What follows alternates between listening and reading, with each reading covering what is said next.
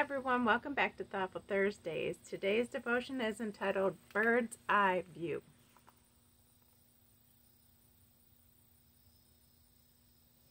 And the verse for today is Second Chronicles 16:9. For the eyes of the Lord run to and fro throughout the whole earth to give strong support to those whose heart is blameless toward him. From my perch on the deck, I have a clear view of the entire yard. The children can be seen, and their squeals of delight can be heard, and arguments over the swing can be ignored. With so many little ones, my eyes are constantly scanning the yard back and forth, keeping tabs on each child. The children know that their mama is on the deck and find security in knowing that I'm constantly watching them. Yet, even knowing this, they occasionally call up to me, Mommy, did you see that? Mommy, watch this. Though they know that, as a group, they are being watched, each individual child still needs to know that she is seen. She needs to know that her accomplishments are noted. She needs to know that if something were to go wrong, it would not go unnoticed. Adults are the same way. We understand that God is constantly looking over His creation, and we take security in knowing that He watches over us as a whole. Yet sometimes we still need to know that He sees us as individuals, that He is applauding when we have success, and that He's aware when we're hurting. There are times when we call out to him, God, did you see that? God, watch this.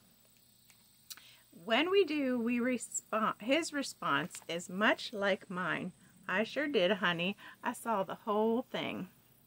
Sometimes it's a breeze on my skin. Other times it's a nudge on my heart. Thank you, Lord, for letting me know that you see me in the midst of all creation. Amen.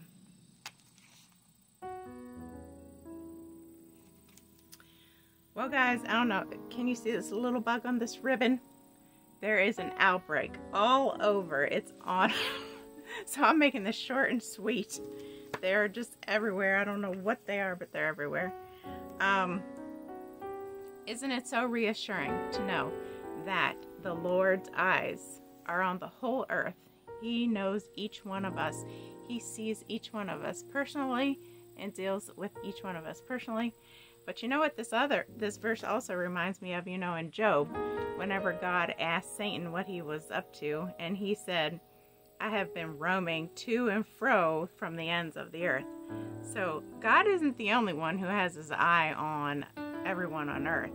You know, so we have to keep our eyes out for the wrong one as well, because he will be there to tempt.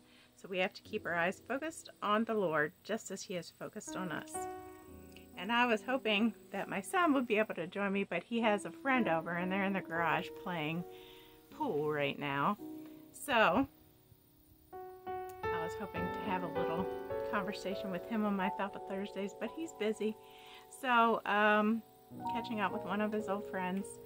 And um, I hope that y'all are doing well. It's like mid 80s again here.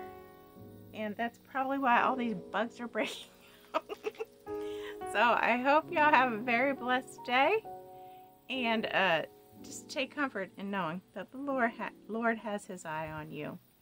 God bless you. Love you. Bye.